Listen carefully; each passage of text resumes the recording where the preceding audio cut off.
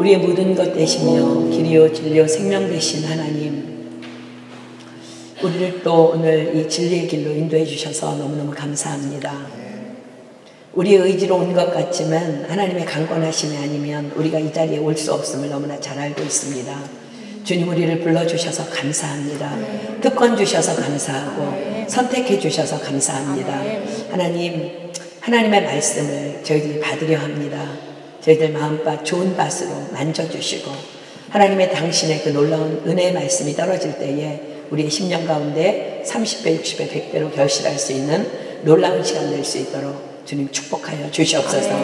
혹이나 하나님 이 자리에 여전히 마른 뼈 같은 마음으로 그런 상한 심령으로 이 자리에 온자 있다면 말씀이 선포될 때에 하나님 힘줄을 허락하시고 살을 덮어주시고 정말 가죽을 덮어주시고 생기를 불어넣어 주셔서 오늘 온전히 회복되게 하시고 그리스도의 군사로 일어날 수 있는 놀라운 시간 될 수 있도록 주님 축복하여 주시옵소서. 말씀이 선포될 때 부족한 여종 주님 너무나도 미련한 것 아십니다. 혹이라도 한순간이라도 1분 1초라도 인간의 생각이나 사상을 섞지 못하도록 성령 하나님 간섭하여 주셔서 오직 하나님께서 담아주신 메시지만 정확하게 전달할 수 있도록 도구로만 사용하여 주시옵소서 아멘. 오늘 우리 가운데 놀라운 일을 행하실 주님을 기대하고 찬양하오며 이 모든 기도 예수님의 이름으로 감사하며 간절히 기도드립니다. 아멘. 아멘. 우리 찬양팀 크게 박수하겠습니다. 감사합니다. 어, 우리 신약성경 누가복음 17장 다 펴보겠습니다. 누가복음 17장.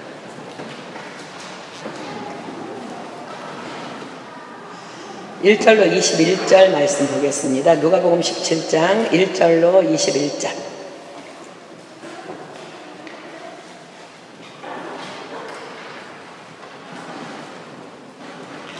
신약 성경 누가복음 17장 1절로 21절 함께 교독하도록 합니다. 제가 한 절 읽고 여러분들 한 절 읽고 교독할게요. 예수께서 제자들에게 이르시되 실족해 하는 것이 없을 수는 없으나 있게 하는 자에게는 화로다.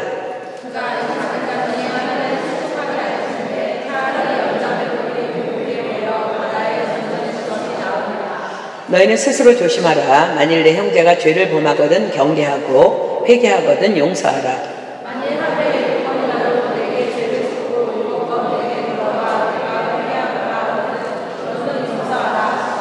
사도들이 주께 여짜오되 우리에게 믿음을 더하소서 하니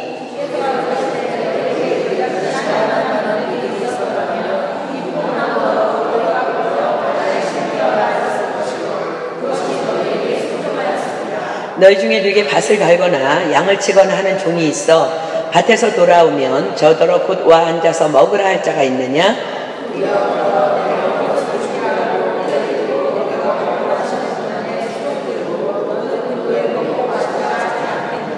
명한 대로 하였다고 종에게 살해하겠느냐?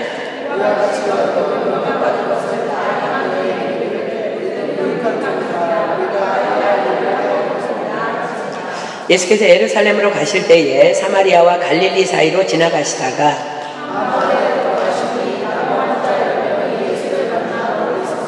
소리를 높여 가로되 예수 선생님이여 우리를 긍휼히 여기소서 하거늘.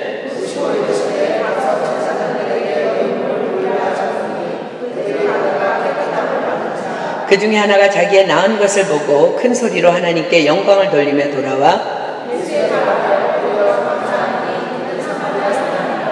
예수께서 대답하여 가라사대 열 사람이 다 깨끗함을 받지 아니하였느냐? 그 아홉은 어디 있느냐?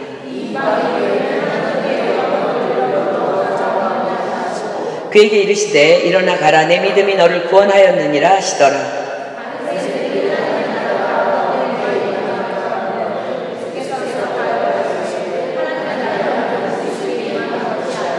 함께 읽습니다. 또 여기 있다 저기 있다고도 못하리니 하나님의 나라는 너희 안에 있느니라. 아멘.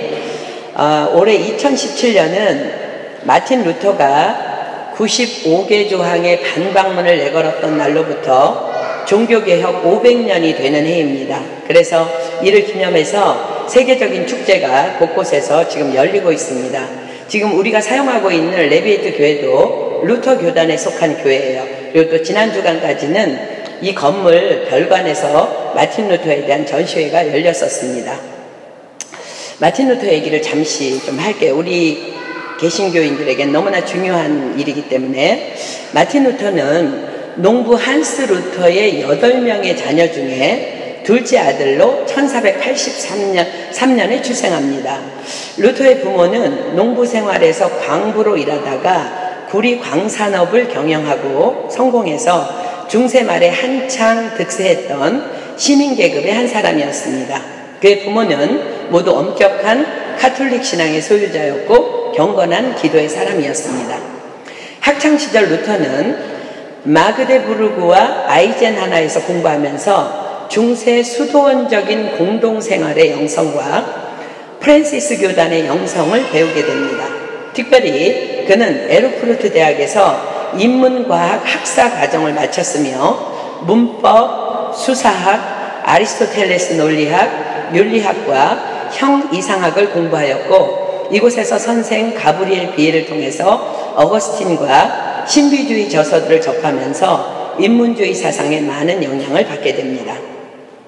루터는 1505년 일반 교양 과정을 마치고 문학 석사 학위를 취득한 후에 아버지의 요청에 따라 법률 공부를 시작합니다. 그러던 중에 1505년 7월 2일 스토테른하임 인근에서 도보 여행 중에 큰 비와 함께 벼락을 만나게 되고 그 벼락으로 인해서 함께 가던 친구가 그 자리에서 즉사하는 일이 발생합니다. 이 친구의 죽음 앞에서 그는 어떤 막연한 두려움과 함께 수도사가 되겠다고 서원합니다.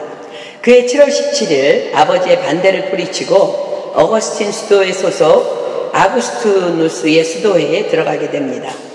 루터가 수도원에 들어가게 된 가장 큰 원인은 자비로우신 하나님을 내가 어떻게 발견할 수 있나 라는 영적인 문제를 풀기 위한 기나긴 영적 투쟁의 결과이기도 했습니다. 그는 수도원의 생활을 성공적으로 지냈음에도 불구하고 특히 죄의 문제에 대해 상당히 번민하였으며 하루에도 몇 번씩 고해성사를 함으로써 그의 담당 사제에게 괴로움을 주는 일이 참 많았다고 합니다. 루터가 너무 자주 고해성사를 위해서 찾아오니까 담당 신부는 제발 죄를 좀 모아서 한꺼번에 가져와라. 혹은 제발 죄 같은 죄를 좀 고백해라. 라고 말할 정도로 루터는 철저하게 회개하는 사람이었습니다. 그러나 그는 그럼에도 불구하고 구원에 대한 확신을 가질 수 없었습니다. 하루는 또 죄를 고백하는 고해성사를 하러 루터가 오자 그의 담당 신부는 이렇게 말했다고 합니다. 루터, 제발 자비의 하나님을 만나기를 축복하네. 그러자 루터가 자비의 하나님이라고요? 아닙니다. 하나님은 너무나 두려운 심판주 하나님이실 뿐입니다. 저는 그래서 하나님이 너무 두렵습니다.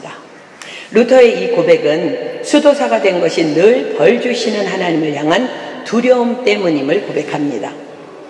루터는 수도원에서 엄격한 계율에 따라 수도 생활을 하면서 1507년 사제가 되고 신학 교육을 받아서 수도회와 대학에서 중책을 맡게 됩니다. 그는 빠른 속도로 수도원의 삶에서 학식과 능력을 인정받기 시작합니다. 1511년 비텐베르그 대학으로 옮겨서 1512년 신학 박사가 되고 1513년 성서학 교수가 되어서 강의를 시작하였으며 시편, 로마서, 갈라디아서, 히브리서 등 주석 강의에 착수하게 됩니다. 그러던 중 루터는 교황청이 있는 로마를 방문할 기회를 갖게 됩니다. 로마에 가면 여러분들 가, 가본 사람 알겠지만 계단 성당이라는 것이 있는데 믿음이 좋은 콘스탄틴 황제의 어머니가 자기 아들 황제에게 부탁해서 예루살렘에 있는 예수님께서 빌라도에게 재판을 받으실 때 올라갔다고 하는 계단을 로마에 옮겨 놓은 것입니다. 그 계단을 가운데 두고 성당을 지은 것이 28계단 성당입니다.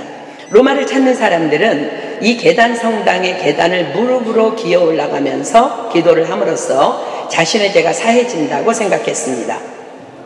루터는 당시의 전통에 따라 이 계단을 무릎으로 기어 올라갔습니다. 그러던 중 루터는 로마서 1장 17절의 말씀이 생각납니다. 오직 의인은 믿음으로 말미암아 살리라. 로마에서 돌아온 그는 말씀을 연구하면서 하나님은 인간에게 행위를 요구하는 것이 아니라 예수 그리스도를 통해 인간에게 오셔서 은혜를 베풀어 구원하신다는 사실을 성령님의 은혜로 깨달아 알게 됩니다. 루터는 죄인이 오직 믿음으로만, 즉, 대가 없는 용서의 복음, 즉, 하나님의 말씀에 대한 절대적인 신뢰와 의존에 의해서 의롭게 된다는 사실을 깨닫고, 마침내 로마서 1장 17절의 성경 말씀에서 이 신칭의 믿음으로 의롭다함을 받는다는 사상을 깨닫게 됩니다. 그는 이 본문을 읽고 또 읽고 묵상하는 가운데 그동안 잘못 배워서 알고 있던 무섭게 심판하시는 하나님의 의가 아닌 우리를 용납하시고 사랑하시는 하나님의 의를 깨닫게 된 것입니다. 그는 자신이 가장 미워했던 로마서 1장 17절이 이젠 자신이 가장 사랑하는 구절이 되었고 바로 천국의 문이 되었다고 고백합니다.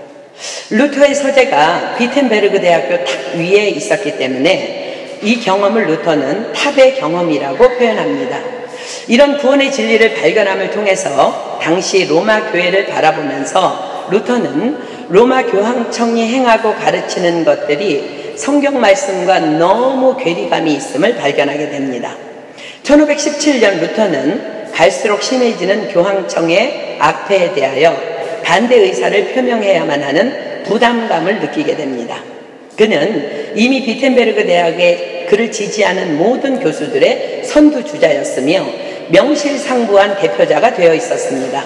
루터가 강의를 시작한 1513년 이후 그는 점차 스콜라주의 신학에 반대하면서 스콜라주의 신학의 기초가 된 곧 인간의 결단과 노력으로 선행의 열매로서 구원을 얻을 수 있다는 신학에 대하여 비판하기 시작합니다.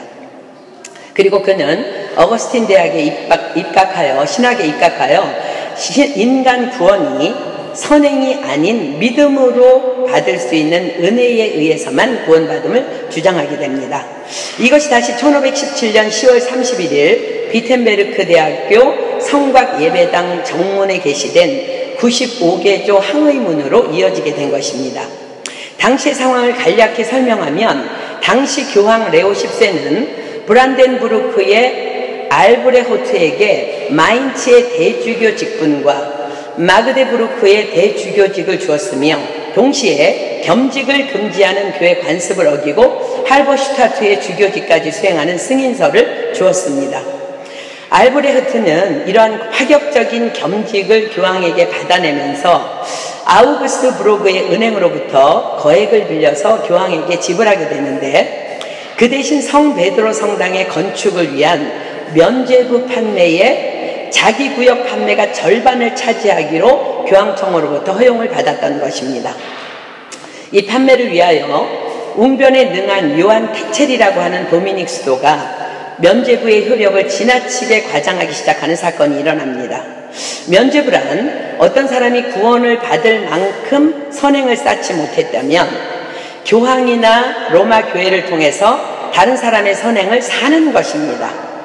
그 선행을 사면 내가 천국 가기에 모자란 선행이 더해지기 때문에 천국에 갈 수 있고 구원을 받을 수 있다고 가르침으로 많은 돈을 거둬들이는 것입니다.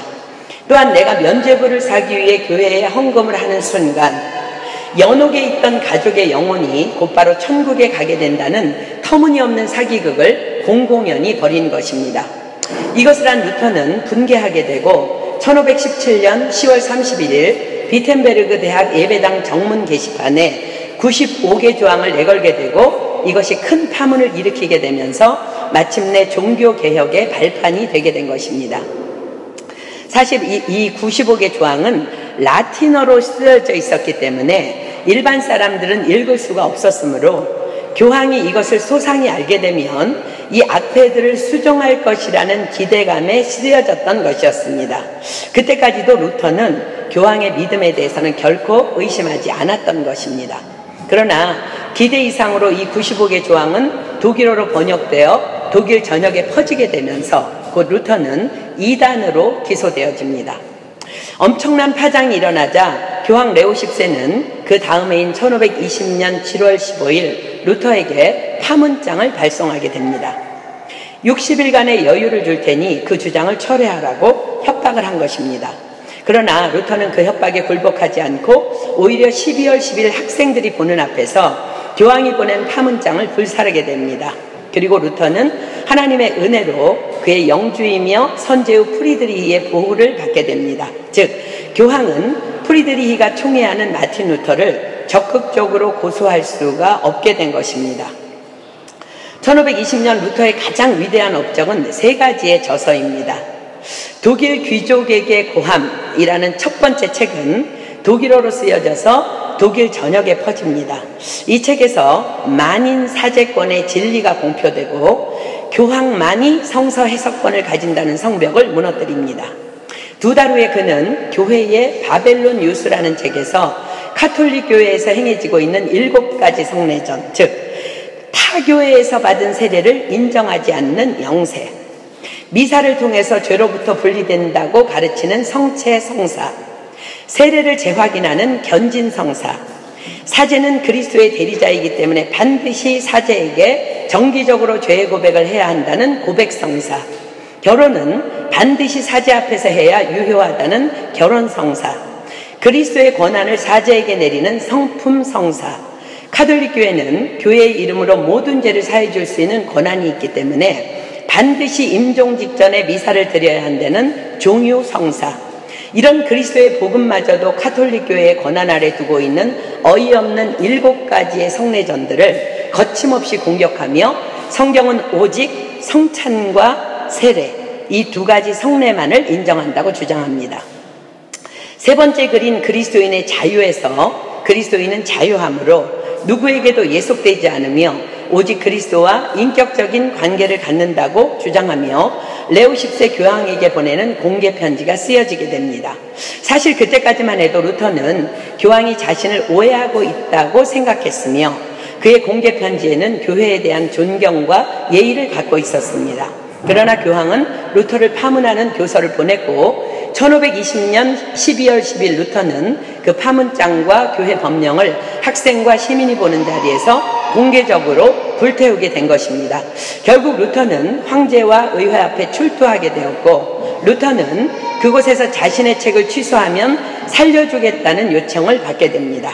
그의 하루에 그에게 하루에 생각할 시간의 여유를 허락해 주, 허락을 받게 되지만 그는 결국 다음 날 황제와 의회 앞에서 심금을 울리는 유, 유명한 말을 남기게 됩니다. 나는 여기에 서 있다. 하나님, 나를 도와주시옵소서. 아멘. 마틴 루터는 이단자와 반역자로서 로마 카톨릭으로부터 파문을 당하게 되었고, 황제 찰스 5세도 루터는 법의 보호를 받지 못하는 사람으로 선포하기에 이르게 됩니다. 그는 추방되었고, 그것은 결국 그의 죽음을 의미하는 것이었습니다. 그러나 프리드리히 4세는 그들의 신부를, 그들의 신복들을 시켜서 마틴 루터를 비밀리에 납치해서 아이제나 근처의 바르트부르크 성으로 보냅니다.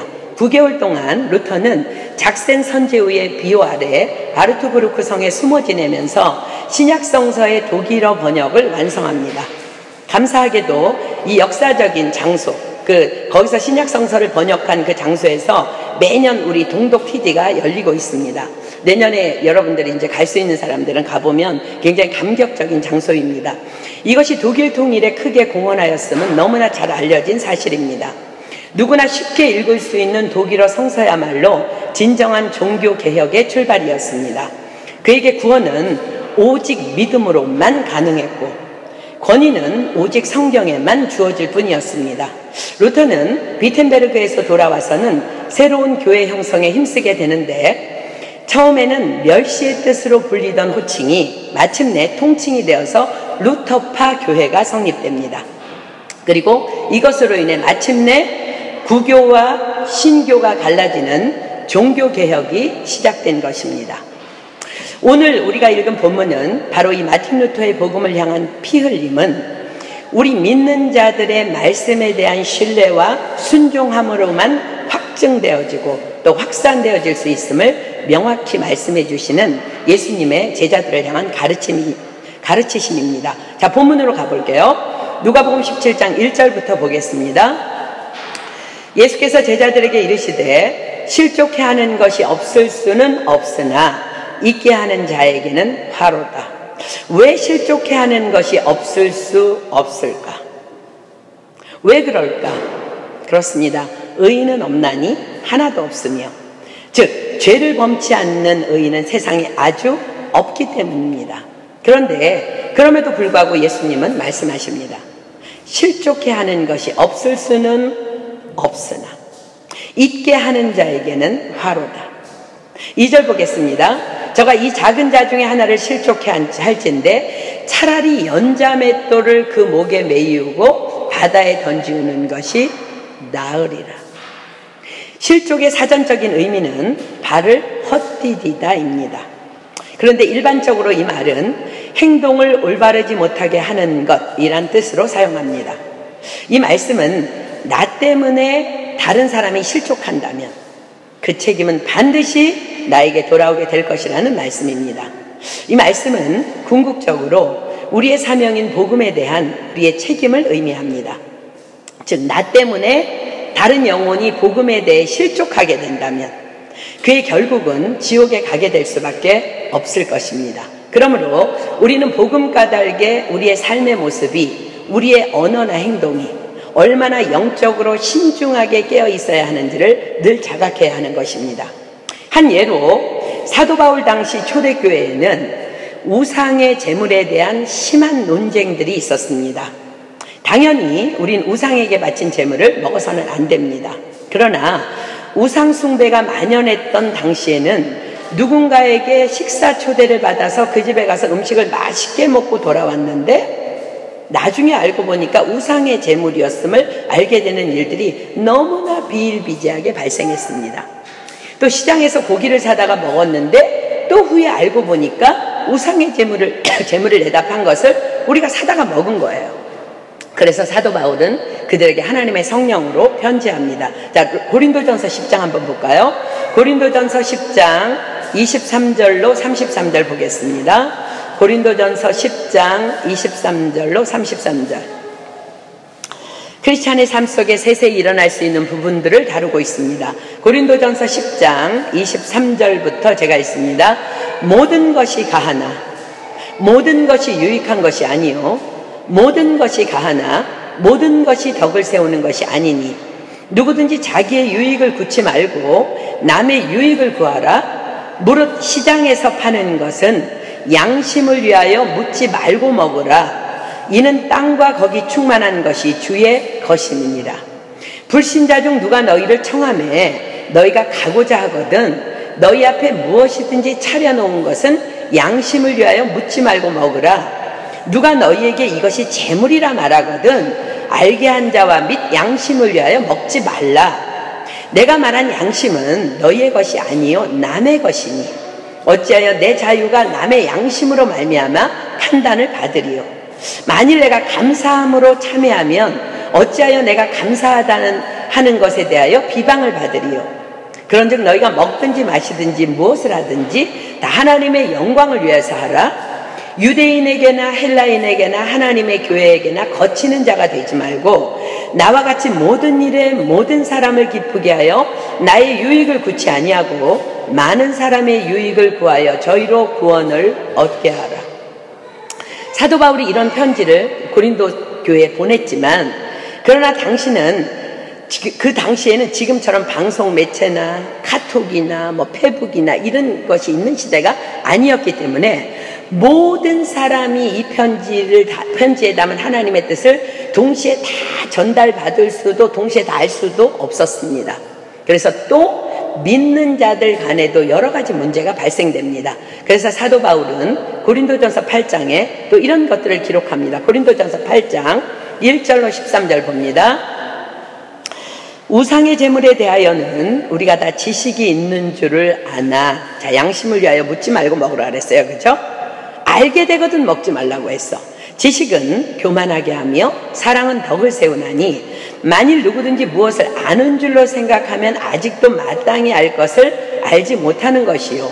또 누구든지 하나님을 사랑하면 이 사람은 하나님의 아시는 바 되었느니라. 그러므로 우상의 재물 먹는 일에 대하여는 우리가 우상은 세상에 아무것도 아니며 또한 하나님은 한 분밖에 없는 줄 아노라.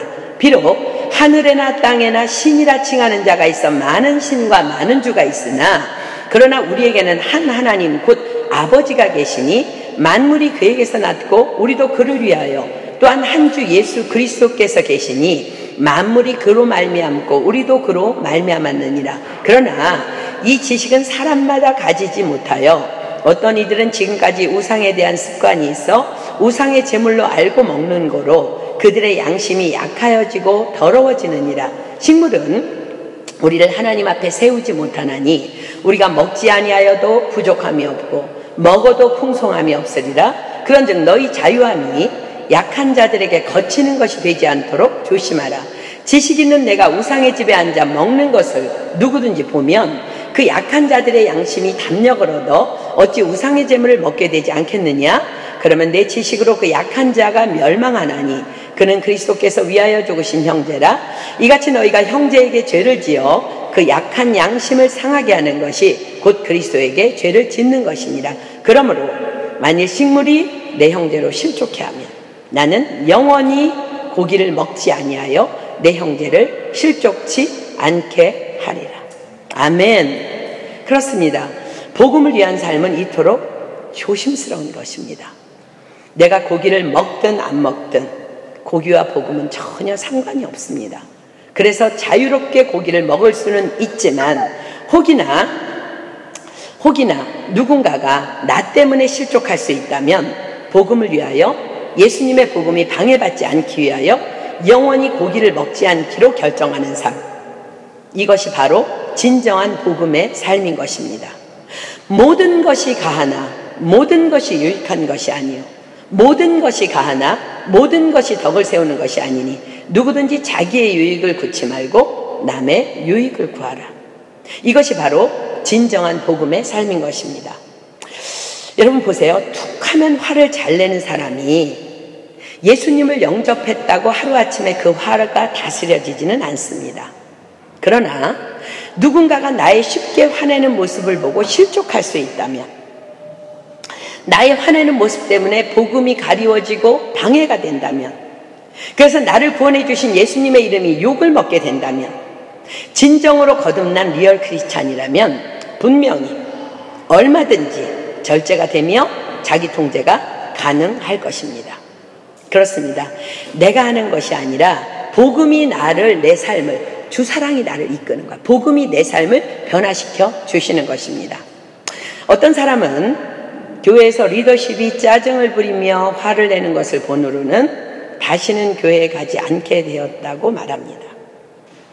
어떤 사람은 어린 시절 목사님과 장로님들이 다투는 모습을 본으로 교회를 떠났다고 말합니다. 어떤 사람은 목사님 댁에 놀러 갔다가 부부싸움을 하는 것을 보고는 그 교회를 떠나게 되었다고 말합니다. 어떤 사람은 레스토랑에서 장로님이 술을 마시고 있는 것을 보고는 교회를 떠났다고 말합니다. 어떤 사람은 청년부 회장이 카페에서 담배를 피우고 있는 것을 보고는 교회를 떠났다고 합니다. 어떤 사람은 교회에서 다른 사람에 대해 함부로 말하는 것을 본으로 교회를 떠났다고 말합니다. 어떤 사람은 부모님들의 교회와 가정에서의 다른 이중적인 모습을 보고 교회를 떠났다고 말합니다. 어떤 사람은 예배 시간에 뜨거운 찬양이 끝난 후에 찬양팀 중 한 사람이 스마트폰을 보고 있는 모습을 보고는 교회를 더 이상 나가지 않게 되었다고 말합니다. 어떤 사람은 자신을 전도한 사람이 상습적으로 교회에 늦게 오는 것을 보고 더 이상 교회에 나가지 않는다고 말합니다. 어떤 사람은 교회의 지도자가 스마트폰으로 게임을 하는 것을 본으로 더 이상 교회에 나가지 않는다고 말합니다. 우리는 누구도 완벽하거나 완전하지는 않습니다. 그러나 혹이나 혹이나 다른 사람을 교회에서 떠나게 한 그 장본인이 바로 나는 아닌지 그들이 교회를 떠났다는 것은 그들이 이제는 나 때문에 더 이상 복음의 말씀을 들을 기회를 놓치게 되었다는 것을 의미하기 때문에 심각한 문제입니다. 예수님께서 말씀하십니다. 자, 본문 1, 2절 다시 볼까요? 예수께서 자기들의 제자들에게 이르시되 실족해 하는 것이 없을 수는 없으나 있게 하는 자에게는 화로다. 저가 이 작은 자 중에 하나를 실족해 할진데 차라리 연자맷돌을 금옥에 매이우고 바다에 던지우는 것이 나으리라. 이 말씀은 실족한 자도 실족해 한 자도 차라리 연자맷돌을 목에 매이우고 바다에 던져지는 것이 낫다는 말씀입니다. 자기가 들어가는 게 아니라 던져지는 것이 낫다는 거야. 누군가가 내 목에 연자맷돌을 달아 바다에 던진다면 그보다 더 억울하고 비참한 죽음은 없을 것입니다. 그러나 주님은 말씀하십니다. 남을 실족해 하느니 차라리 그것이 낫다는 것입니다. 왜 그럴까요? 왜냐하면 스스로가 아닌 누군가에 의해서 죽임을 당한다면 살아있음으로 인해 얻을 수 있는 복음을 듣고 회개할 기회조차 잃어버린 그 영혼에 대한 하나님의 긍휼하심을 어쩌면 얻게 될 수도 있기 때문입니다. 그만큼 다른 사람을 실족해 하는 일은 하나님 앞에서 참으로 두려운 것임을 주님은 지금 말씀하고 계시는 것입니다. 그럼 우리는 과연 어떻게 해야? 남을 실족해 하는 것이 없을 수는 없지만 그럼에도 실족해 하지 않는 삶을 살 수 있을까? 자, 본문 3절에서 예수님께서 말씀하십니다. 너희는 스스로 조심하라. 만일 내 형제가 죄를 범하거든 경계하고 회개하거든 용서하라. 너희는 스스로 조심하라. 이것이 바로 해답입니다. 스스로 조심해야 할 것은 바로 이것입니다. 만일 형제가 죄를 범하거든 경계하고 회개하거든 용서하라는 것입니다. 경계한다는 것. 자, 갈라디아서 6장 1절로 2절 보겠습니다. 갈라디아서 6장 1절로 2절. 갈라디아서 6장 1절로 2절. 갈라디아서 6장 1절로 2절. 형제들아, 사람이 만일 무슨 범죄한 일이 드러나거든 신령한 너희는 온유한 심령으로 그러한 자를 바로잡고 내 자신을 돌아보아 너도 시험을 받을까 두려워하라 너희가 짐을 서로 지라 그리하여 그리스도의 법을 성취하라. 그렇습니다. 경계한다는 것은 나 자신을 돌아보아 나도 그런 시험을 받을까 두려운 마음을 갖는 자세를 의미합니다. 누구나 넘어질 수 있다는 그러니 더욱 깨어있으라는 나를 향한 하나님의 경고의 메시지로 받아들이면서 자칫 상대를 향해 손가락으로 혹은 입술로 범죄치 않도록 스스로 조심하는 것입니다. 이것은 바로 죄의 짐을 서로 지는 것이며 이것이 바로 그리스도의 법을 성취하는 것입니다. 그런데 우리는 마치 자신은 완전한 양, 결코 넘어지지 않을 것처럼 교만한 마음으로 손가락질하며 또 입으로 상대방을 판단합니다. 예수님께서 말씀하십니다. 너희는 스스로 조심하라. 다음 두 번째로 스스로 조심해야 될 것은 회개하거든 용서하라는 것입니다. 미안하다, 잘못했다 하면 무조건 용서하라는 것입니다. 자, 본문 사절 한번 볼까요? 만일 하루 일곱 번이라도 내게 죄를 얻고 일곱 번 내게 돌아와 내가 회개하노라 하거든 너는 용서하라 하시더라. 사랑하는 여러분, 7은 성경에서 완전수입니다. 하루에 일곱 번 죄를 진다는 것, 그것은요, 그냥 죄덩어리예요. 그냥 죄의 상태에 있는 거예요. 그러나 무조건 용서하라는 말씀이에요. 일곱 번 죄 짓고 일곱 번 돌아와서 회개하노라 하는 사람의 회개가 진짜일까요? 여러분 한번 생각해 보세요. 결코 그렇지 않습니다. 아이들이나 위기를 모면하라고 하는 뻔한 눈가림입니다. 용서는 그런 사람을 향한 용서가 진정한 용서라고 지금 말씀하시는 것입니다. 일곱 번씩 하루에 일곱 번 죄 짓고 일곱 번 잘못 다 거짓말이에요. 그냥 죄덩어리야. 다음에 또 여덟 번 죄짓고 아홉 번 죄질 거야. 그런데 예수님께서 지금 뭐라고 말씀하세요? 그냥 용서하라는 거예요. 용서는 용서할 만하기에 용서하는 것은 용서가 아니라는 말씀이에요. 그저 무조건 용서하라는 거예요. 자신에게 스스로 지금 여러분들 스스로에게 물어보십시오. 가능합니까? 준비되었습니까? 예수님의 제자들은요, 이 말씀 앞에서 자신들의 믿음으로는 도무지 할 수 없다는 결론을 내립니다. 그리고 주님께 강청합니다. 자, 본문 5절 볼게요. 사도들이 주께 여짜오되 우리에게 믿음을 더하소서 하니 예수님 이런 끝없는 용서를 하기에는 우리의 믿음이 너무 작고 부족합니다. 그러니 우리에게 믿음을 더해 주셔서 말씀대로 무조건 용서할 수 있는 큰 믿음을 주시옵소라는 요청입니다. 어쩌면 그리스도 제자들의 어쩌면 그렇게도 제자들의 마음이 그죠? 여러분들 마음과 좀 비슷하죠, 그죠?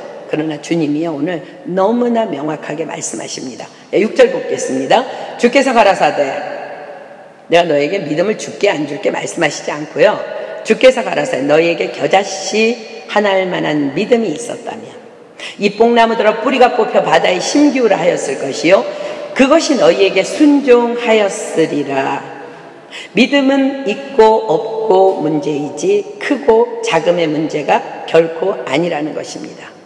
겨자씨는 세상에서 가장 작은 것의 대명사입니다 너희의 믿음이 만일 겨자씨 하나일 만한 믿음이라도 있다면 고만한 거라도 있다면 그 믿음이 있는 한 믿음에는 그 어떤 불가능도 없다는 것입니다 그렇다면 무엇이 문제일까요? 뭐가 문제일까? 그렇다면 자 예수님께서 계속 말씀하십니다. 7절 볼게요. 너희 중에 누게 밭을 갈거나 양을 치거나 하는 종이 있어 밭에서 돌아오면 저더러 곧 와 앉아서 먹으라 할 자가 있느냐? 도리어 저더러 내 먹을 것을 예비하고 띠를 띠고 나의 먹고 마시는 동안에 수종 들고 너는 그 후에 먹고 마시라 하지 않겠느냐? 명한 대로 하였다고 종에게 살해하겠느냐?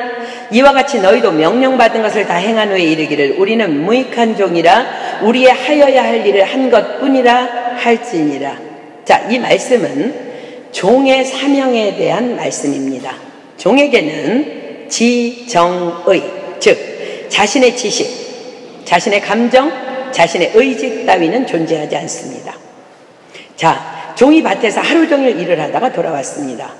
몸이 많이 피곤할 것입니다. 그러나 그런 종에게 수고했다고, 배고프겠다고, 앉아서 먹으라고, 쉬라고 아무도 하지 않는다는 것입니다. 오히려 빨리 가서 내 식탁을 준비하라고 명령합니다. 그리고 밥 먹을 동안 내 옆에서 시중을 들으라고 명합니다. 그리고 나를 섬기는 일이 끝나면 그 후에나 밥을 먹으라고 합니다. 그리고는 수고했다라든가 오늘 고생 많았다라든가 배고팠지라든가 그 어떤 사례 즉 위로도 없다는 것입니다. 왜요? 종이기 때문입니다. 당시의 종은 그런 존재입니다. 사랑하는 여러분들에게 질문합니다. 여러분들 구원 받았습니까? 구원 받았습니까? 어떻게 구원 받을 수 있었어요? 어떻게?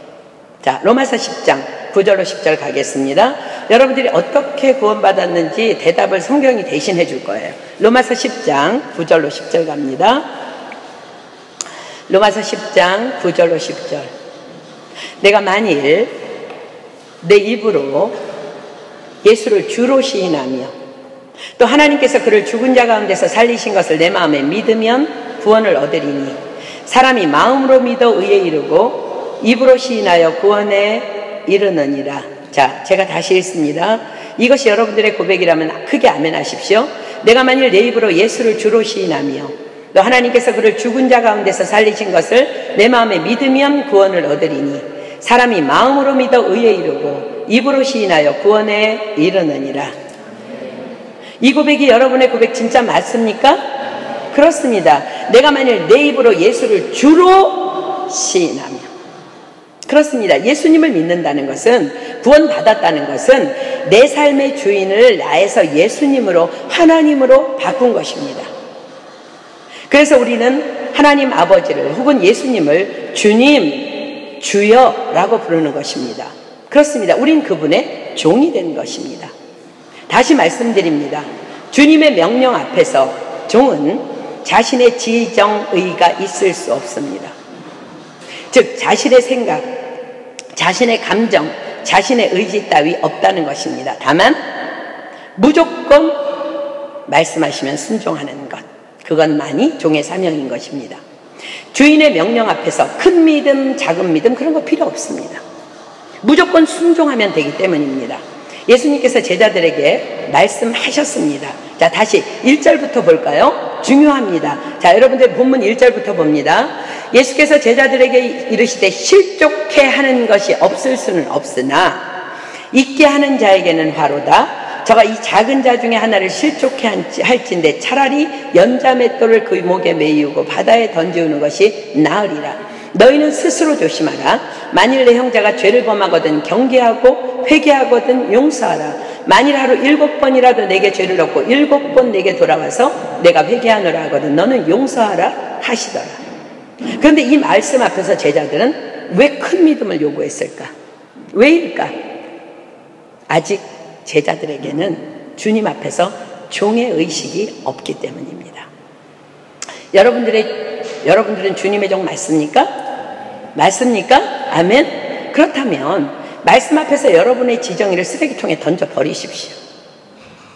용서하라 하시면 그냥 무조건 용서하는 거야. 아멘. 내 감정, 내 지식, 내 의의를 드러내려고 하니까. 그러니까 남을 실족해 하고. 하나님의 말씀에 순종이 안 돼요. 큰 믿음이 필요해. 그렇지 않습니다. 종은 그냥 순종하는 것입니다. 그 이상도 이하도 없습니다. 그저 무조건 용서하라고 하십니다. 그리고 주님께서 이렇게 고백하라고 합니다. 자, 10절 볼게요. 이와 같이 너희도 명령받은 것을 다 행한 후에 이르기를. 우리는 무익한 종이라. 우리의 하여야 할 일을 한 것 뿐이라 할지니라. 이와 같이 너희도 명령받은 것을 다 행한 후에. 우리는 무익한 종이라 우리의 하여야 할 일을 한 것 뿐이라 할지니라. 그렇습니다. 종의 사명은 다만 순종입니다. 그냥 종이니까 순종만 하면 되는 것입니다. 예수님의 이 가르침이 있은 바로 직후에 11절부터 바로 여러분들이 너무너무 잘 알고 있는 그 유명한 열 문둥병자의 치유의 사건이 이어집니다. 어쩌면 의도적인 사건이기도 합니다. 이 사건은 종된 마음으로 말씀에 무조건 순종한 자가 맛보게 되는 엄청난 축복을 말씀해 주시는 현장입니다. 자, 11절 볼게요.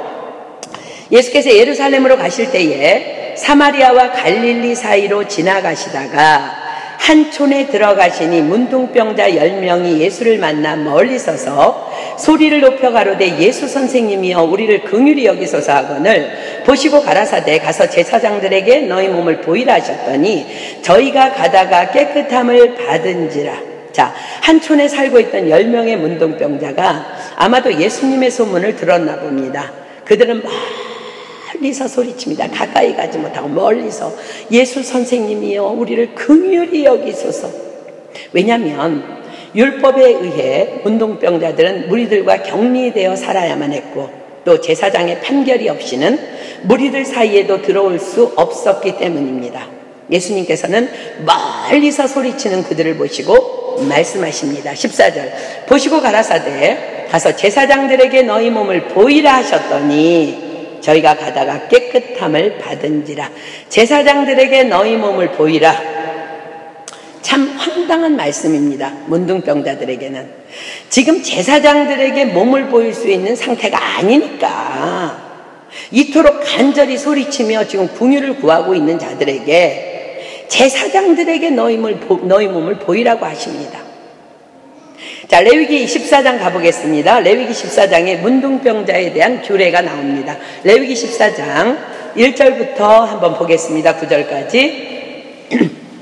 레위기 14장 1절로 9절. 여호와께서 모세에게 일러 가라사대 문둥 환자의 정결케 되는 날의 규례는 이러하니 곧 그 사람을 제사장에게로 데려갈 것이요 제사장은 진에서 나가서 진찰할지니 그 환자에게 있던 문둥병 한 처가 나았으면 제사장은 그를 위하여 명하여 정한 산새 두 마리와 백향목과 홍색실과 우슬초를 가져오게 하고 제사장은 또 명하여 그새 하나는 흐르는 물 위 질그릇 안에서 잡게 하고 다른 산은 산대로 취하여 백향목과 홍색실과 우슬초와 함께 가져다가 흐르는 물 위에서 잡은 새 피를 찍어 문둥병에서 정결함을 받은 자에게 일곱 번 뿌려 정하다 하고 그 산새는 들에 놓을지며 정결함을 받은 자는 그 옷을 빨고 모든 털을 밀고 물로 몸을 씻을 것이라. 그리하면 정하리니 그 후에 진에 들어올 것이나 자기 장막 밖에 7일을 거할 것이요. 7일 만에 그 모든 털을 밀되 머리털과 수염과 눈썹을 다 밀고 그 옷을 빨고 몸을 물에 씻을 것이라. 그리하면 정하리라 자, 문둥병자가 제사장에게 갈 수 있는 근거는 자신의 문둥병이 다 나았다고 확신할 때입니다. 그럴 때만 갈 수 있어요. 그럴 때 제사장에 가서 몸을 보이고 정결케 하는 예식을 행하게 되는 것입니다. 그런데 예수님께서는 그들을 고쳐주시기는 커녕 여전히 문둥병을 가진 그들을 향해 다만 제사장에게로 가서 몸을 보이라 라고만 하십니다. 그런데 그 열 문둥병자들의 믿음이 참으로 놀랍습니다. 예수님께서 우리 모든 종된 자들에게 주시는 분명한 메시지입니다. 아무것도 변화되지 않은 문둥병 그대로의 몸을 가지고 다만 예수님께서 말씀하셨기 때문에 그대로 되리라고 믿고 아멘하며 순종하여 제사장에게로 출발한 것입니다. 그러자 그 가던 길에서 놀랍게도 기적 같은 치유의 역사가 일어나게 됩니다. 저희가 가다가 저희가 가다가 여러분 몸이 나서 제사장에게 간 게 아니고요. 가다가 가다가 깨끗함을 받은지라. 그렇습니다. 이것이 바로 종의 믿음입니다. 믿음은 크고 작은 것이 아니라 다만 말씀에 대한 순종인 것입니다. 하나님께서는 우리에게 말씀하십니다. 너는 내게 부르짖으라. 내가 알지 못하는 크고 비밀한 일을 내게 보이리라. 주라. 그리하면 누르고 흔들어 넘치도록 하여 너에게 안겨주리라. 여호와를 경외하라. 모든 좋은 것에 부족함이 없으리로다. 인내를 온전히 이루라. 그리하면 온전하고 구비하여 조금도 부족함이 없으리라. 내 이름으로 무엇이든지 구하라. 그러면 내가 시행하리라. 지혜를 구하라. 후이 주시고 꾸짖지 아니하시는 하나님께서 주시리라.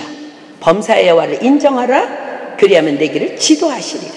먼저 그의 나라와 그의 의를 구하라. 그 모든 것을 너희에게 더하여 주시리라. 안식일을 기억하여 거룩히 지키라. 너를 땅의 높은 곳에 올려주시리라. 내 부모를 공경하라. 내가 땅에서 잘되고 장수하리라. 온전한 11조를 드리라. 열방이 너를 복되다 하는 축복을 주리라. 그런데 우리는 보여주시면 믿겠다고 보여주시면 보여주시면 믿겠다고 그렇게 아우성을 치면서 보여지지 않으면 꼼짝을 안 하고 움직이질 않습니다. 도통. 기억하십시오. 이런 사람에게는 100년을 교회에 다녀도 아무 일도 일어나지 않을 것입니다. 주님은 말씀하십니다. 내가 믿으면 하나님의 영광을 보리라. 내가 순종하면 하나님의 영광을 보리라. 때와 기한은 하나님이 정하실 것입니다. 그저 종으로만 살면 됩니다. 자, 사도행전 1장 7절로 8절 갈까요? 자, 여러분들 우리 지난주에 기도에 대해서 에스겔의 환상에 대해서 공부하면서 기도의 중요성에 대해서 배웠어요. 여러분들 기도하면서 기다리십시오. 자 보십시오. 사도행전 1장 7절로 8절. 가라사대 때와 기한은 여러분들 빨리 응답받고 싶죠? 빨리 보여주세요. 내 몸이 다 나야 제사장에게 갈 거 아니에요. 주님 말씀하십니다. 가라사대 때와 기한은 아버지께서 자기의 권한에 두셨습니다. 너희의 알 바가 아니요 신경 쓰지 말라는 거예요. 오직 성령이 너희에게 임하시면 너희가 권능을 받고 예루살렘과 온 유대와 사마리아와 땅 끝까지 이르러 내 증인이 되리라 하시니라. 몸에 아무런 일도 일어나지 않았음에도 말씀에 순종하여 제사장애로 나아갔던 열 문둥병자들처럼 내 눈앞에 아무것도 보이지도 들리지도 않을지라도 예수님의 말씀을 붙잡고 일어나서 우리 아까 찬양한 것처럼 한 걸음 한 걸음 주 예수와 함께 우리 함께 나아갑시다. 하나님의 시간에 하나님의 때에 놀라운 치유와 회복과 축복이 내 삶을 덮을 것입니다. 그렇습니다. 믿고 순종한 10명의 문둥병자들이 모두 하나님의 영광을 보았습니다. 그런데 그 10명의 문둥병자들 중 단 한 명만 예수님께 영광을 돌리러 돌아옵니다. 예수님께서 말씀하십니다. 15절 볼게요. 그 중에 하나가 자기의 낳은 것을 보고 큰 소리로 하나님께 영광을 돌리며 돌아와 예수의 발 아래 엎드려 살해하니 저는 사마리아인이라. 예수께서 대답하여 가라사대 열 사람이 다 깨끗함을 받지 아니하였느냐? 그 아홉은 어디 있느냐? 이 이방인 외에는 하나님께 영광을 돌리러 온 자가 없느냐 하시고 그에게 이르시되 일어나 가라 내 믿음이 너를 구원하였느니라 하시더라. 열 사람이 다 깨끗함을 받지 아니하였느냐? 그 아홉은 어디 있느냐? 이 이방인 외에는 하나님께 영광을 돌리러 온 자가 없느냐? 그에게 이르시되 일어나 가라 내 믿음이 너를 구원 하였느니라 하시더라. 이 열 문둥병자들의 이야기는 복음으로 거듭난 자들은 많지만 복음에 감격하며 헌신하는 자들은 참으로 적은 복음의 현실을 보여줍니다. 우리는 우리의 구원은 분명한 기적이며 은혜였습니다. 우리는 그 유명한 찬송가의 기사를 가사를 기억합니다. 왜 내게 성령 주셔서 내 마음을 감동해 주 예수 믿게 하는지 난 알 수 없도다. 그렇습니다. 내가 지금 예수를 믿고 있는 것, 그 예수님이 믿어지는 것, 그 자체가 기적인 것입니다. 그러나 기적은 사실 지금부터가 더욱 시작입니다. 지금부터 모든 범사가 내가 말씀에 순종하는 삶을 살아내기 시작한다면 열문둥병자처럼 우리의 삶 자체가 주님 오시는 그날까지 기적의 삶으로 채워질 것입니다. 이것이 복음으로 거듭난 자들의 제2의 삶, 즉 복음을 위한 삶인 것입니다. 저는 우리 모든 교회가 우리 여러분 한 분한 한 분이 다시 돌아와서 예수님께 영광을 돌린 10명 중에 이 한 명의 문둥병자 같은 믿음의 공동체, 믿음의 개인이 되기를 소망합니다. 기억하십시오. 내 믿음이 너를 구원하였느니라. 그렇습니다. 치유와 회복이 교회 안에 있다고 구원받은 교회 아닙니다. 다만 구원받은 교회는 그리 아니하실지라도 주님 오시는 날까지 종의 사명을 감당하며 오직 말씀에 순종하는 교회입니다. 왜냐하면 구원 자체가 하나님의 은혜이기 때문입니다. 언젠가 김용희 선교사님의 말씀 중에 이런 이야기를 들은 적이 있습니다. 한국에 명동 성당에 나가던 한 부부가 있었습니다. 남편은 한국 전체 카톨릭 교회의 가장 높은 평신도 지도자였습니다. 그런데 어느 날 아내 되는 자매님이 우연히 개신교회에서 열리는 어떤 집회에 친구를 따라 참석했다가 성령을 체험합니다. 그리고 그녀는 그날부터 남편을 설득합니다. 구원은 오직 선행이 아닌 하나님의 은혜로만 가능한 것이라고. 그러니 교회에 한번 나가보자고. 남편은 그날부터 너무 화가 나서 아내를 핍박하기 시작합니다. 무식한 여편네가 어디서 무식한 교리를 들이대면서 나를 설득하려 하냐며 자신의 학식과 지위와 명성이 더럽힘을 받게 되니까 내 옆에 얼씬도 하지 말고 그런 소리 꺼내지도 말라고 무시하기 시작합니다. 카톨릭에는 데모라는 제도가 있습니다. 누군가가 입교하며 세례를 받게 될 때에 증인 역할과 양육 역할을 감당해주는 영적 어머니라는 의미로 데모라고 합니다. 그런데 어느 날 자신이 데모로 섬기고 있는 자매와 자신을 그토록 무식하다 핍박하던 남편이 오랜 동안 부정한 관계 속에 있었던 사실이 드러나게 됩니다. 그 자매가 너무나 양심의 가책을 받아서 더 이상 버티지 못하고 자신의 대모인 그의 아내에게 그 사실을 폭로한 것입니다. 성령께서 분명히 그리하셨을 것입니다. 아내의 성격 또한 보통이 아니었기 때문에 남편은 법정에 끌려가기 전에 아내의 손에 죽게 될 것이라는 두려움 가운데서 두 사람은 거실에 마주 앉았습니다. 죄책감과 함께 너무 두려운 나머지 남편이 눈을 감았습니다. 아마도 칼로 나를 찌를 수도 있을 것이라는 생각을 하는 중에 아내가 남편의 손 위에 자신의 손을 얹었습니다. 남편은 아마도 자신을 일단 손으로 제어한 후에 칼을 칼로 찌르려나 보다 생각하는데 시간이 흘러도 아무 일도 일어나지 않은 채 갑자기 자신의 손 위로 굵고 뜨거운 물방울이 뚝뚝 떨어지기 시작합니다. 아내의 눈물이었습니다. 너무 놀라 눈을 뜨니 아내가 울면서 손을 잡은 채 말합니다. 여보, 예수님께서 나를 용서하셨어요. 그리고 나 같은 죄인도 구원해 주셨어요. 여보, 아무런 자격이 없는 나이지만 당신의 모든 것을 용서합니다. 당신을 여전히 사랑합니다. 그 순간 남편은 안도나 감사가 아닌 엄청난 저항할 수 없는 무시무시한 공포와 두려움에 휩싸이게 됩니다. 말도 안 돼. 난 누구도 용서할 수 없는 용서받을 수도 없는 더러운 놈이야. 예수님이라도 나를 용서할 수는 없어. 난 죽어야 돼. 차라리 나를 칼로 찔러 죽여줘. 그때부터 그의 남편은 죄책감에 시달리면서 자신을 자학하며 아무것도 못한 채 그렇게 비판하는 삶을 나날이 살아가게 됩니다. 그 누구의 말도 그 어떤 사람도 그에게 다가갈 수도 설득할 수도 없었습니다. 그가 존경하는 모든 신부님들도 그에게 아무런 도움이 되지 못했습니다. 견디다 못한 아내가 여보 제발 마지막 소원이니까 딱 한 번만 딱 한 번만 김용희 선교사님을 만나보라고 설득해서 그가 김용희 선교사님을 찾아갔답니다. 그러나 아무런 소용이 없었습니다. 귀를 막아서 전혀 어떤 말도 듣지 않은 채 그냥 자신은 죄인이라며 나 같은 쓰레기 같은 놈은 예수님이라도 용서할 수 없다며 자책만 할 뿐이었답니다. 그렇게 한 방에서 함께 몇 시간이 흘렀는데 갑자기 성령님께서 선교사님께 한 가지 지혜를 떠오르게 하시면서 이사야 53장의 말씀을 주셨답니다. 자, 한번 다 펴볼까요? 이사야 53장 1절로 6절 한번 보겠습니다. 이사야 53장 1절로 6절.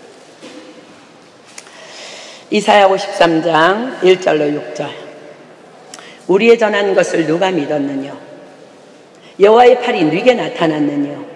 그는 주 앞에서 자라나기를 연한 순 같고 마른 땅에서 나온 줄기 같아서 고운 모양도 없고 풍채도 없은즉 우리의 보기에 흠모할 만한 아름다운 것이 없도다. 그는 멸시를 받아서 사람에게 실어버린 바 되었으며 간고를 많이 겪었으며 질고를 아는 자라 마치 사람에게 얼굴을 가리우고 보지 않음을 받는 자 같아서 멸시를 당하였고 우리도 그를 귀히 여기지 아니하였도다. 그는 실로 우리의 질고를 지고 우리의 슬픔을 당하였거늘 우리는 생각하기를 그는 징벌을 받아서 하나님에게 맞으며 고난을 당한다 하였노라. 그가 찔림은 우리의 허물을 인하며 그가 상함은 우리의 죄악을 인함이라.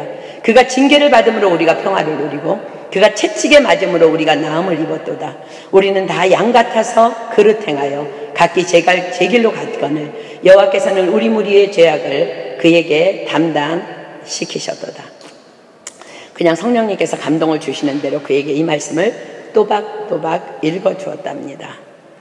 그리고 듣지 않으려는 그에게 이렇게 말했답니다. 그래요, 보십시오. 그는 멸시를 받아서 사람에게 실험 버린 바 되었으며, 간고를 많이 겪었으며, 질고를 아는 자라, 마치 사람에게, 사람들에게 얼굴을 가리우고 보지 않음을 받는 자 같아서 멸시를 당하였고, 우리도 그를 귀히 여기지 아니하였도다. 이게 누구 꼬라지입니까, 도대체? 이게 누구 꼬라지입니까? 바로 당신 꼬라지입니다. 그래요. 당신은 도무지 용서받을 수 없는 죄인 맞습니다. 당신 용서받을 수 없는 죄인이에요. 그런데 왜 예수님이 채찍을 맞아야 해요? 당신이 채찍을 맞아야 하지. 왜 예수님이 그런데 찔려야 돼요? 당신이 찔려야지. 소리소리 지르니까 가만히 듣더랍니다. 자, 들어보십시오, 선생. 우리는 다 양 같아서 그릇 행하여 각기 제 길로 갔거늘 여호와께서는 우리 무리의 죄악을 그에게 담당 시키셨도다. 여기까지 읽는데 갑자기 그가 사자가 표효하듯이 소리 지르며 엉엉 꺼이꺼이 울기 시작하더랍니다. 그렇게 몇 시간을 운 후에 그는 십자가 앞에 꼬꾸라졌고 죄책감에서 해방되었고 복음을 받아들였고 성령으로, 성령으로 거듭나는 체험을 하게 됩니다. 그렇습니다. 이것이 복음입니다. 우린 그 누구도 행함으로 의롭다함을 받거나 구원받을 수 없습니다. 그러나 사단은 우리에게 죄책감을 불어넣어서 우리의 구원을 이토록 방해합니다. 기억하십시오. 복음으로 인한 구원의 구원은 말씀의 순종으로만 가능합니다. 자신의 지정의를 내려놓고 주 예수를 믿으라. 그리하면 너와 내 집은 구원을 얻으리라고 아멘 하면 되는 거예요. 영접하는 자 곧 그 이름을 믿는 자들에게는 하나님의 아들이 되는 권세를 주셨으니 아멘. 내가 만일 내 입으로 예수를 주로 시인하며 또 하나님께서 그를 죽은 자 가운데서 살리신 것을 내 마음에 믿으면 구원을 얻으리니 아멘. 또 성경은 말씀하십니다. 만일 우리가 우리 죄를 자백하면 저는 미쁘시고 의로우사 우리 죄를 사하시며 모든 불의에서 우리를 깨끗게 하실 것이요. 그렇습니다. 말씀에 아멘하며 말씀 그대로를 믿으면 되는 것입니다. 그렇습니다. 복음은 다만 하나님의 말씀을 신뢰하며 말씀을 믿고 말씀을 순종하는 것입니다. 그런데 놀랍게도 말씀에 순종만 했는데 그 순간부터 주님께서 내 안에 들어오셔서 내 삶을 이끌어 주시는 놀라운 일이 일어나는 것입니다. 여러분들 구원 받았습니까? 그럼 또 모든 말씀에 안 그냥 순종하면 돼요. 기적으로 말씀으로 구원받았으면 말씀에 또 순종하면 되는 거예요. 일흔 번씩 일곱 번이라도 용서하라고 하면 그냥 그렇게 아멘 하면 되는 거예요. 심령이 가난한 자는 복이 있나니 저희가 천국이 저희의 것이. 여러분들 내 지정의를 쓰레기통에 던져 넣어야만 가능한 일입니다. 그냥 용서하십시오. 그것이 복음입니다. 왜냐하면 우리가 용서받았기 때문에. 하나님의 모든 말씀에 다만 아멘 하면 되는 것입니다. 우린 다만 그분의 종일 뿐입니다. 왜 꼭 주일에 교회를 가야 되는데? 왜 십자가만 구원이 있는데? 왜 그런 인간들을 용서해야 되는데? 다 귀신의 역사예요. 귀신의 장난질입니다. 여러분들 예수님 믿으십니까? 예수님은 말씀이 육신이 되어 이 땅에 오신 분이에요. 다만 우리는 그저 모든 말씀에 순종만 하면 되는 것입니다. 이것이 바로 복음의 삶인 것입니다. 그러나 여전히 복음을 이해하지 못하는 바리새인들이 예수님께 질문합니다. 본문 20절 볼게요. 바리새인들이 하나님의 나라가 어느 때에 임하나이가 묻건을 예수께서 대답하여 가라사대 하나님의 나라는 볼 수 있게 임하는 것이 아니요 또 여기 있다 저기 있다고도 못하리니 하나님의 나라는 너희 안에 있느니라. 하나님의 나라는 너희 안에 있느니라. 그렇습니다. 우리가 복음에 순종하여 모든 말씀에 순종하며 다만 형제를 용서하며 사랑하기에 이를 때 바로 하나님 안에 나라는 내 안에서 우리 안에서 지금 이루어지며 완성되어지는 것입니다. 피 흘리기까지 우리를 사랑하신 예수님 또 피 흘리기까지 복음을 위해 싸워준 마틴 루터 같은 믿음의 선조들 그들의 뒤를 이어서 이젠 우리가 바로 내가 이 복음을 위해 순종하며 싸우며 이루며 확산시키며 나아가야 할 때입니다. 기억합시다. 복음의 확산의 출발.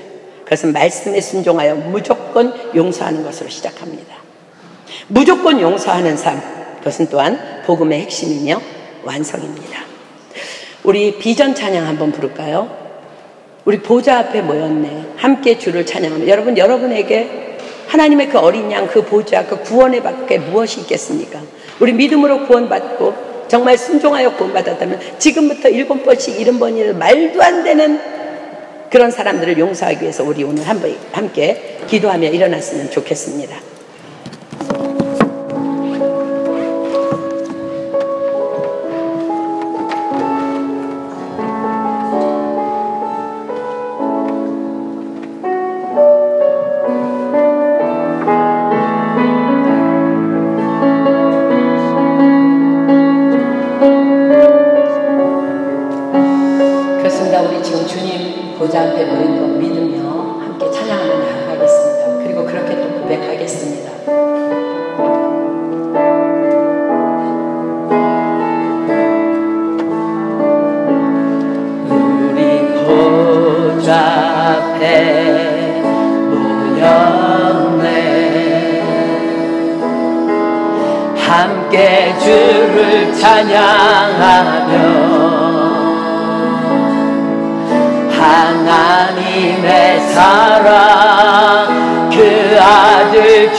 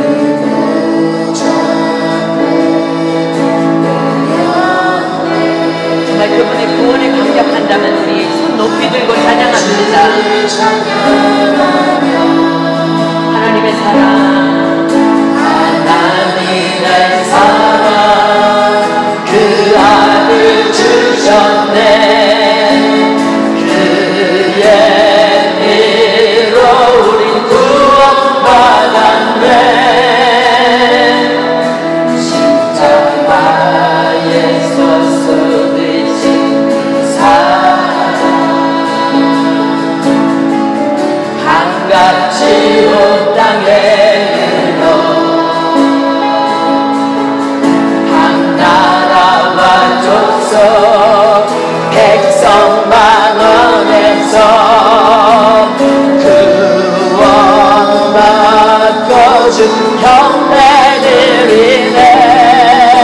그렇습니다. 구원하시니 구원하심이 보좌에 앉으신 우리 하나님과 어린 양께 있더라. 구원하심이 보좌에 앉으신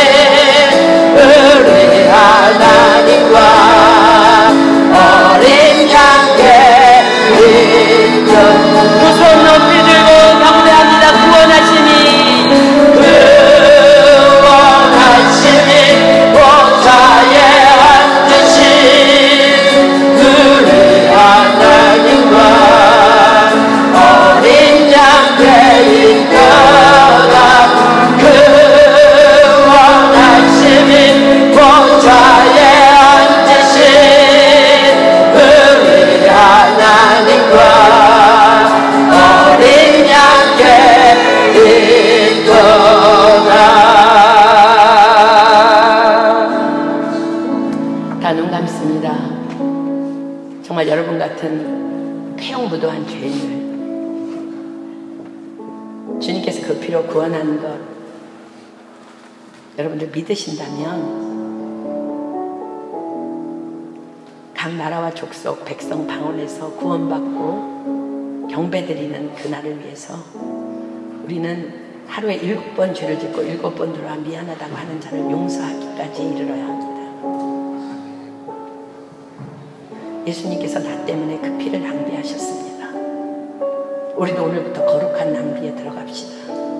여러분의 지정의가 있는 한 우리는 아무도 용서할 수 없습니다.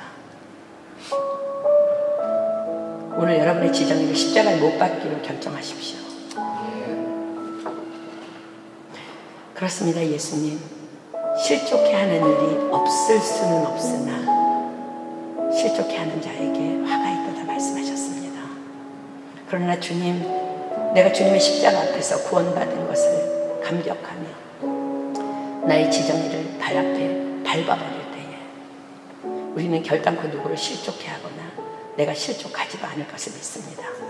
주님 내가 그렇게 살겠습니다. 큰 믿음, 작은 믿음 요구하지 않겠습니다.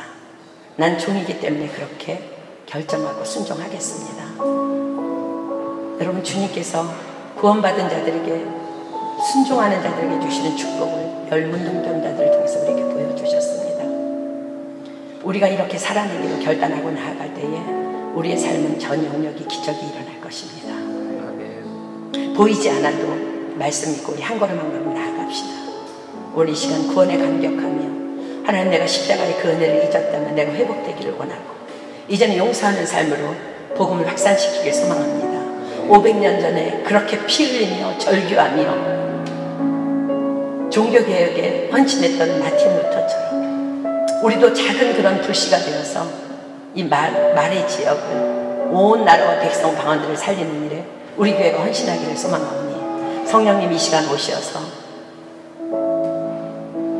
우리에게 모든 것을 생각나게 하시고 모든 것을 가르쳐 주시고 하나님께서 예비하신 모든 은혜를 알게 하시고 우리가 미처 구하지 못하는 것까지라도 우리가 방언으로 주님 앞에 기도하고 구하여 주시고 우리가 이 기도를 통해서 새로운 역사를 맛볼 수 있도록 역사하여 주시옵소서 이 시간 우리 정말 전심으로 구원받은 그 하나님 앞에 감사함으로 여러분 목이 터지도록 마틴 루터가 그랬던 것처럼 예수님이 그랬던 것처럼 우리도 목이 터져라 나를 헌신하고 결단하는 그런 시간이 되기를 소망합니다. 이 시간 우리 모두 하나님 앞에 정말 절규하듯이 주여 상상하고 주님 앞에 성령님 앞에 엎드려 기도합니다. 시작! 주여! 주여!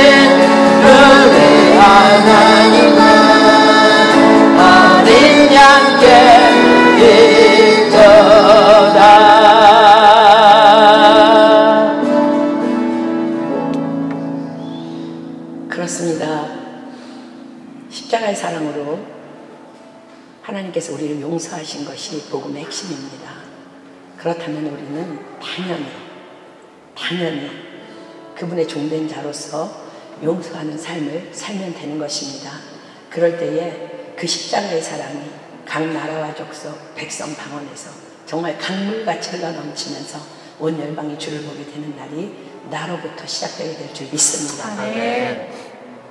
심령이 가난한 자는 복이 있나니 천국이 저희 것이며 여러분의 지정의가 있는 한 불가능합니다. 오늘부터 계속 십자가에 못 박고 무조건 종이기 때문에 무익한 영인이 마땅히 행할 것을 행한다는 믿음으로 그렇게 나아갈 때 정말 놀라운 일이 우리 가운데 이 시간부터 시작될 것을 믿습니다. 누구든지 한 사람이 하나님 앞에서 감동되는 사람 한 사람이 감사기도 했으면 좋겠습니다. 그리고 오늘 주님께서 가르쳐 주신 기도로 모임 패하도록 합니다.